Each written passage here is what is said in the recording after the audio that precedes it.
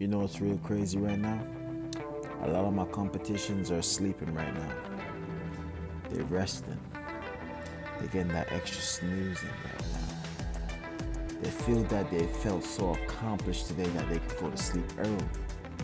And they don't know a guy like me is up. Putting in that extra time, that extra grind, that extra work, those extra hours just to get that extra. I'm getting better. Told you this year I will be reaping, I will becoming something that you've never seen before, something great. But not just me, I'm creating an army of monsters, hungry people. You're gonna see success, but nothing out of BShynaz legacy. That's all you're gonna see. When you see us, you know it's by success. That's our name, because I don't sleep. I don't sleep. When you sleep, we planning and conquering and getting better.